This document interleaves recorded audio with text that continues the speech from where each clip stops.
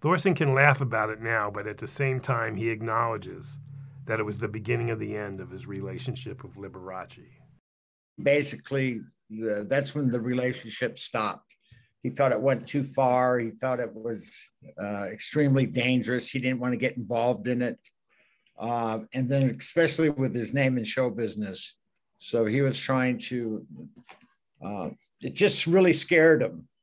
We were still together, but um, it was just getting bad because of the drugs. You know, that's when I was, um, I was uh, buying all kinds of drugs uh, from uh, Nash. It just got too far, you know. Liberace didn't want anything to do with it.